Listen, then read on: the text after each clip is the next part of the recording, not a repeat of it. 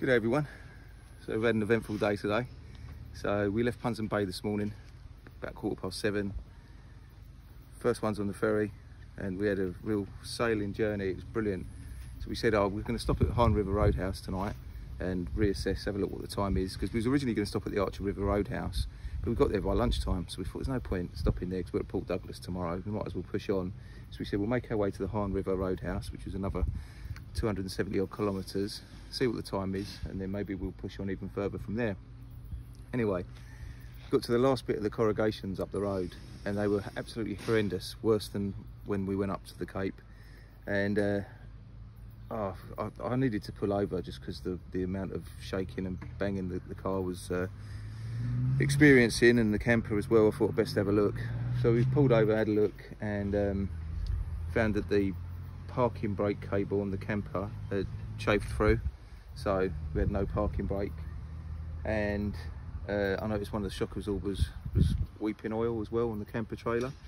So I've wiped the, wiped the shock absorber off. I'll keep an eye on it. Hopefully it'll be all right till we get home. I'll get a new one under warranty.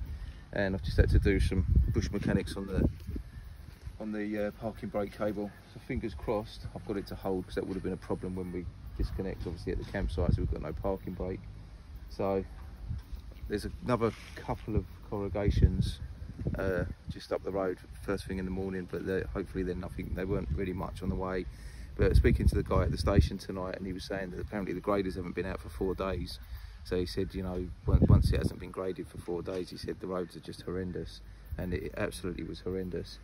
Um, dust holes everywhere, ball dust, and oh yeah. So yeah, unfortunately we didn't make as much ground as what we would have liked tonight. So we've got about three and a half hours tomorrow to Port Douglas, which is be all right. We'll leave early and uh, we can check in at 11 o'clock. This Hann River uh, is actually a lovely little roadhouse. We refueled, sorted all the tyre pressures out in the car and the camper, ready for the, uh, the bitumen again. Um, done some repairs. Had a look over the car and the camper and all that. Um, aside from what I've just told you, everything looks okay. Um, so I'm just going to get it back and get them both serviced and uh, make sure that they're all good, get them looked over and uh, get them ready for the next trip. So yeah, tomorrow we'll be in Port Douglas. Um, tonight we're going to go and have a shower, obviously. um, just have a nice cold drink. It's really hot here actually. Like the, the weather at the Cape it wasn't cold. It's like 29 30 degrees but where it was raining all the time it got a bit chilly at night but stark contrast here. It's like 35 36 today. No rain at all. It's gonna guy was saying it's going to be another month before they get any rain here. So yeah it's absolutely sweltering hot.